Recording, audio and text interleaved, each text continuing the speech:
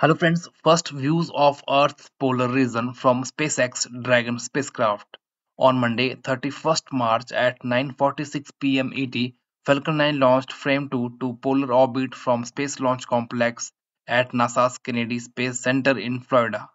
Mission objectives During their multi-day mission, Dragon and the crew will explore Earth from polar orbit and fly over the Earth's polar region for the first time.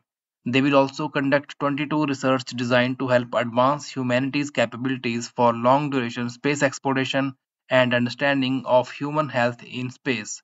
Throughout Fram2's time on orbit, the crew are planning to take the first X-ray in space, perform exercise study to maintain muscles and skeletal mass, and grow mushrooms in microgravity.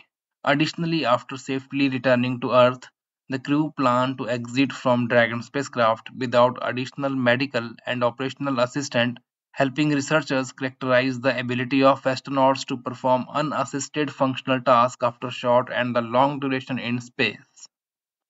Falcon 9 is a reusable two-stage rocket designed and manufactured by SpaceX for the reliable and safe transport of peoples and payloads into Earth orbit and beyond.